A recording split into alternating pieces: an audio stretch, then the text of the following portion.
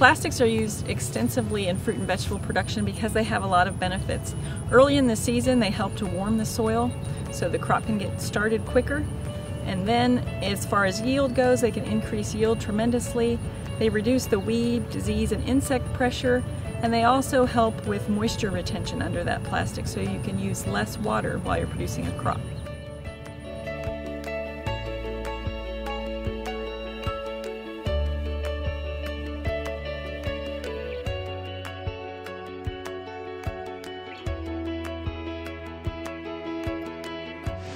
Polyethylene plastic is essential to specialty crop production in the United States um, and really throughout the world, especially for vegetable crops.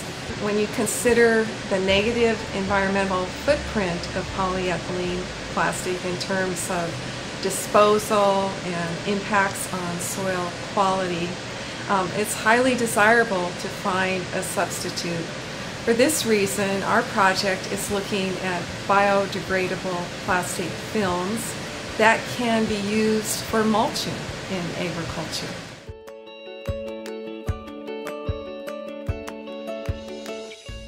Most agricultural plastics are recycled after they've been used. However, plastic mulch is not recycled for one primary reason, and that is because it's heavily contaminated with soil. Now, we may not think of soil as a contaminant, but recyclers do. So the soil that's on the plastic will destroy recycling equipment. Um, the plastic that would be melted and used to make other products would have soil within it, which would not be conducive to the, the formation of other products. So currently, plastic mulch is not allowed to recycling centers, which means that all the plastic mulch that's used in, in the, certainly in the United States and worldwide today, is either dumped on uh, farmlands or into landfills. The overall objective of this project is really to understand how replacing a biodegradable plastic for a conventional polyethylene plastic mulch, what are the impacts of using that? And again, throughout the whole life cycle of the plastic, from the production of the plastics through their laying on the field, to their use throughout the growing season, to their end of life, which will probably include plowing them into the soil or perhaps removing them and taking them to a compost pile. We are looking at the effect of these different biodegradable mulches on soils. So when we apply those mulches to soils, we might expect that uh, soil quality over time will be affected by these mulch applications.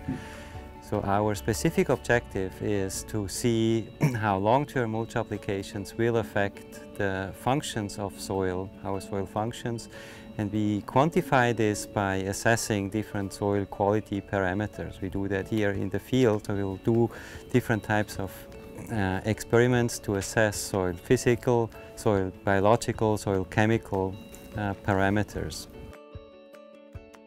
One of the biggest concerns that farmers have about using biodegradable mulches is their impact on soil quality. So in addition to all the soil quality measures that we took in the field, we're also looking at how these mulches are affecting the microbial communities in the soil. So we're interested in the bacteria and the fungi that live there and if they're changing as a result of using these materials.